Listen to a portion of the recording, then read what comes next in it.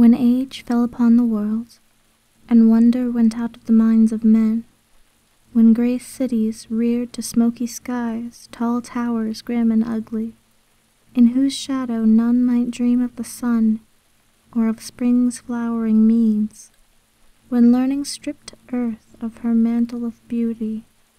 and poets sang no more save the twisted phantoms seen with bleared and inward looking eyes. When these things had come to pass,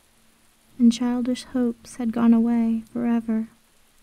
there was a man who travelled out of life on a quest into the spaces whither the world's dreams had fled. Of name and abode of this man but little is written, for they were of the waking world only, yet it is said that they were both obscure.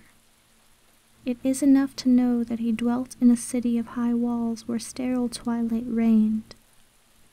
and that he toiled all day among shadow and turmoil,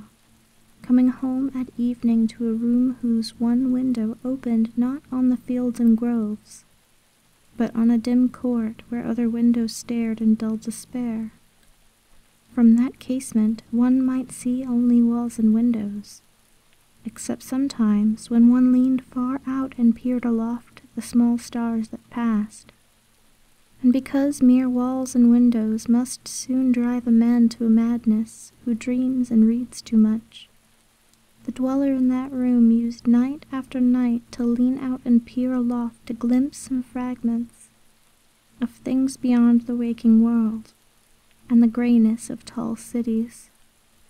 After years he began to call the slow sailing stars by name, and to follow them in fancy when they glided regretfully out of sight, till at length his vision opened to many secret vistas, whose existence no common eye suspects.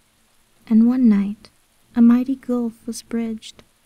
and the dream-haunted skies swelled down to the lonely watcher's window to merge with the close air of his room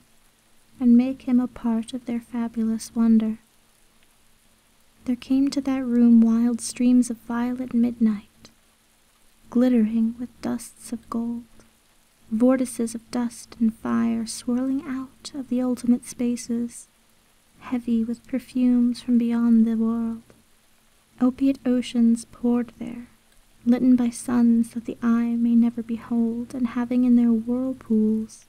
strange dolphins and sea nymphs of unrememberable depths.